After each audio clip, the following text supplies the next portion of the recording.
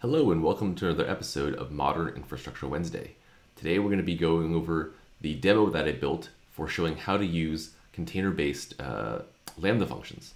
And so we're going to walk through that code in depth since in the video it was a kind of a quick take on just how to build an application and kind of show the demo of the application, but never, never really walk through it uh, in depth. And so we're going to do that in this video today. If we kind of start at the beginning, we import a couple libraries. Uh, we're building a TypeScript application today. Uh, Pulumi obviously does support uh, Go, .NET, uh, as well as Python, in addition to Node.js. So, but here we're using TypeScript. Uh, so I, I, create this bucket, um, you know, to simply just call, you know, new bucket. Uh, here we just name it bucket, but obviously that's just the, the name we're using within Pulumi. We, with Pulumi's auto naming capabilities, uh, these actually end up being transformed into, into suffixed uh, names in the actual uh, cloud provider, in this case AWS. Uh, this next line here, we're, we're, we're, using this convenience library AWS X. This is a crosswalk for AWS. It's a convenience library from Pulumi, and then here we just build and push image, and it, it builds a uh, the image and pushes it into a repository within ECR. And so actually, if we go to uh, our console, the Pulumi console, we can actually see those resources uh, here in our stack. And if I open this up, uh, we can actually see the, the name of the bucket uh, is, you know, is suffixed like this. And then same thing with I, if I go look at the sample app repository, we can actually see uh, this particular repository um, in ECR. And we can also, uh, oops, what's going on here?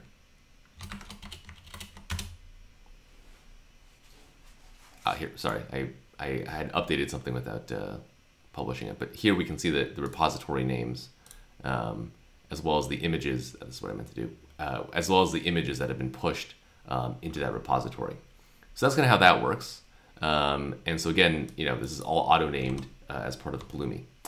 And so, uh, yeah, so we, we have the bucket, we have the image.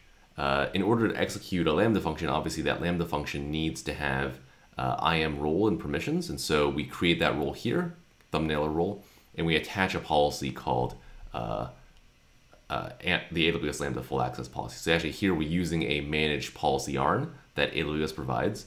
Uh, you'll note that this is actually a um, an enum, uh, and so so that's how this is how we uh, actually bring this in here. So that's kind of or access an enum rather. It's a it's a set of constants. so that's how we bring that into there. And so um, once we have those, we just create the function. That's what this line is here on line 20. And so the function takes that image uh, URI. So we have that image URI from above. Um, and this is an output of this particular uh, image. And then we also give it the role that we created. So those things combined allow us to create the function that actually executes. And I'm going to go into how that function works in a second. Um, after that, the rest of the code is actually fairly simple as well. We, we create a we create a uh, on object created. This is, a, again, a convenience in the uh, Pulumi AWS library where we hook up the S3 uh, bucket notifications to our function. And so uh, every time there's a new object created in that bucket, in this particular bucket, we will, uh, the name of the handler is on new video. This could be any name. And then uh, we give it the, the function that we want to execute uh, whenever a new bucket, whenever a new bucket object is created. And then we specifically filter for this uh, MP4 suffix.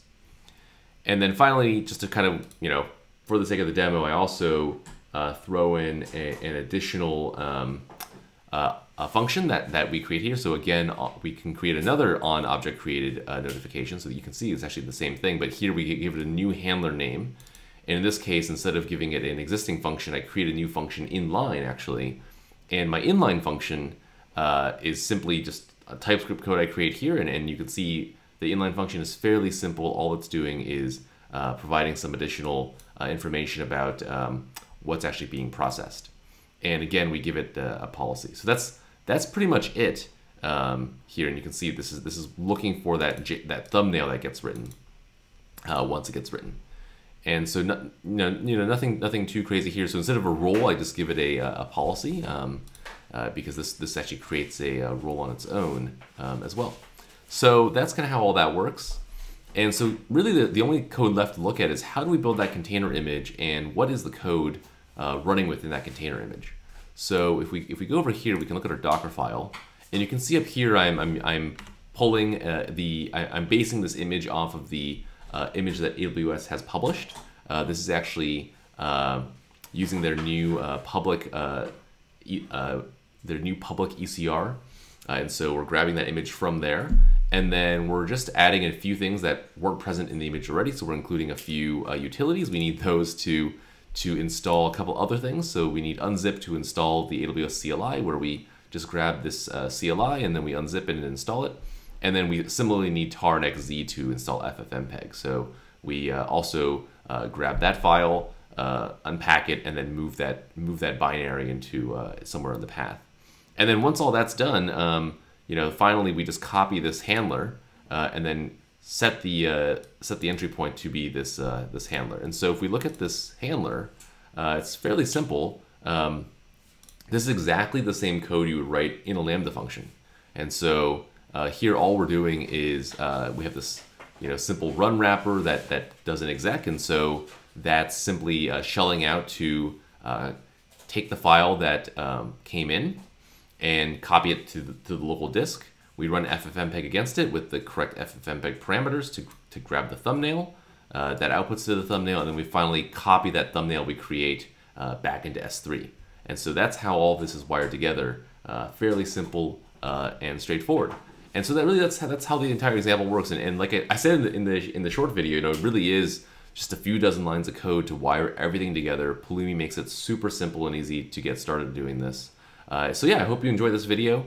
Uh, be really curious to see what you do with with uh, the Lambda functions using container-based uh, functions, and hope to see you next week on Modern Infrastructure Wednesday. If you like this video, please leave a comment below. Would love to hear what other content you would like to see, as well as please make sure you hit that like and subscribe button so we know you're enjoying the content here.